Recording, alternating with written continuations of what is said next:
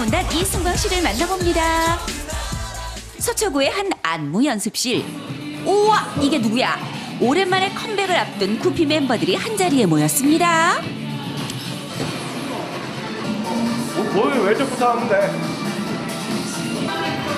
호흡 척척. 왕년의 춤 실력 살아있네, 살아있어. 안녕하세요. 구피의 신동호입니다. 반갑습니다. 아 진짜 오랜만이네요. 안녕하세요. 안녕하세요. 구피의 박성호입니다. 반갑습니다. 예. 누군지 잘 모르시겠죠?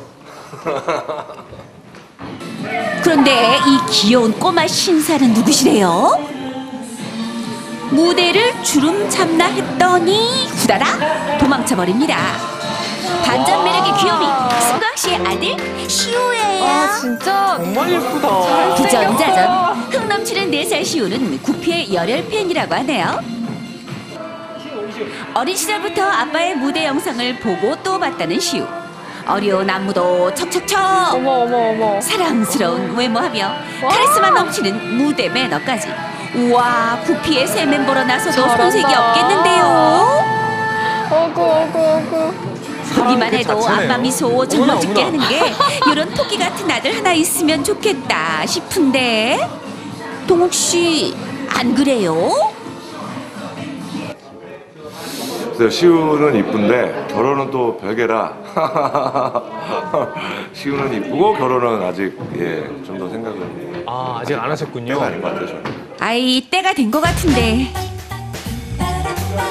깨르르 봄날의 벚꽃 마냥 사랑 흩뿌리는 승광 씨 부자 동욱 씨 이래도 정말 결혼 생각 없어요? 한 번 더.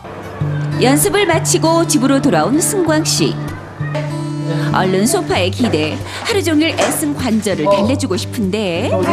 그러나 아직도 춤을 추고 싶은 시우. 아빠의 외모를 쏙 빼닮은 시우는 넘치는 끼까지 그대로 닮았다는데요. 아이고 그러니 누굴 탓해요?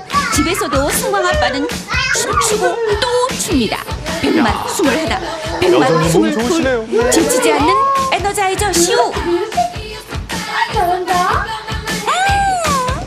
마무리까지 완벽하네요 너무 잘하네요.